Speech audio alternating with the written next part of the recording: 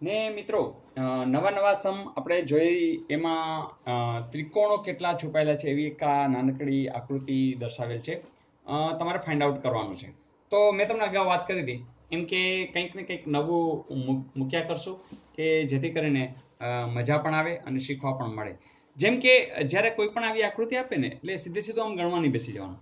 તમારે અહીં બાજુમાં એ આકૃતિ ડેવલપ કરવાની. મિત્રો, આવી જ્યારે આકૃતિ દેખાય ને, ત્યારે તમારા અંદર આઠ ત્રિકોણ છે એમ ગણી જ લેવાના. ઓકે? ગણવાની બેસવાના જેમ કે અત્યારે આપણે ગણી લઈએ, આ એક, બે, ત્રણ ને ચાર. ઓકે? ચાર છે. બીજી વાત કે તમને એ પણ ખબર છે કે આમ છે એટલે આ બે છે. ત્રીજી વાત, આ લીટી છે એટલે આ બે છે. એટલે કે તમને ખબર જ છે કે અહીંયા આઠ છે. હવે તમે જ્યારે ડેવલપ કરો છો, ત્યારે શું થાય છે? તો જુઓ જે, અહીંયા આઠ અહીંયા આઠ. એટલે આઠ દૂને સોળ તો થઈ જ ગયા છે. હવે જરા જોજો, હો.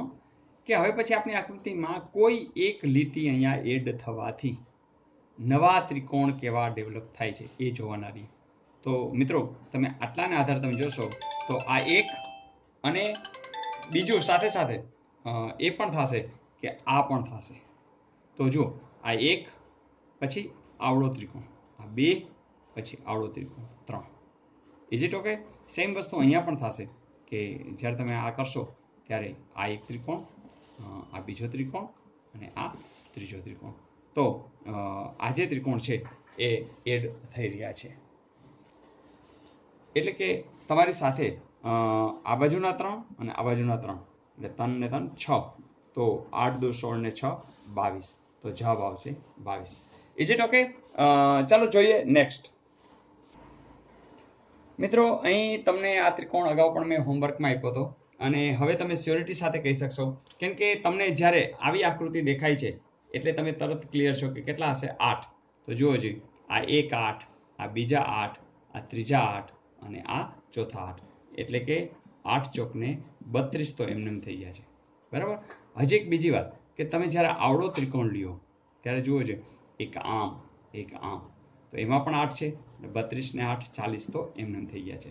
હવે તમે આ જે ત્રિકોણ લીધા, એમાં એવા ક્યાં છે કે જે લઈ શક્યા નથી? એ જ ખાલી વિચારવાનું રહેશે. ચાલો વિચારો જોઈએ યસ ફ્રેન્ડ્સ તમે બરોબર પકડી લીધું છે કે જ્યારે તમે આ જ્યારે લ્યો છો, ત્યારે તમારી પાસે આ નાના નાના એક, બે, ત્રણ, ચાર, એ તો તમે લઈ લ્યો છો. સાથે સાથે આ પણ લઈ લ્યો છો. આ એક આ બે, બરાબર? એ પણ મોટા પણ લઈ લ્યો છો પણ તમે જોશો તો આ નથી લેવાનું.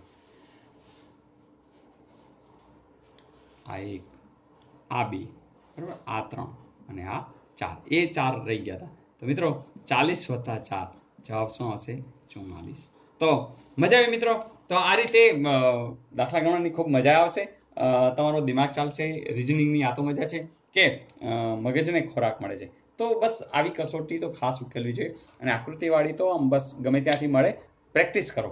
તો મજા પણ આવશે અને આવડતું પણ જશે. તો કાલે ફરીથી નવી તૈયારી સાથે નવા વિષય સાથે મળતા જ રહેશું. રોજ નવું રોજ નવું. શીખતા જ રહેશું. તો તમારી કોમેન્ટ્સ મને મળતી રહે છે. એનો પણ આનંદ છે. બસ નવું નવું રોજ શીખા કરી, તો એ તો આનંદ આવવાનો જ છે. બસ તમારા મિત્રોને જાણ કરતા રહેજો. આગળ આગળ કામ કરતા રહેજો. Wish you all the best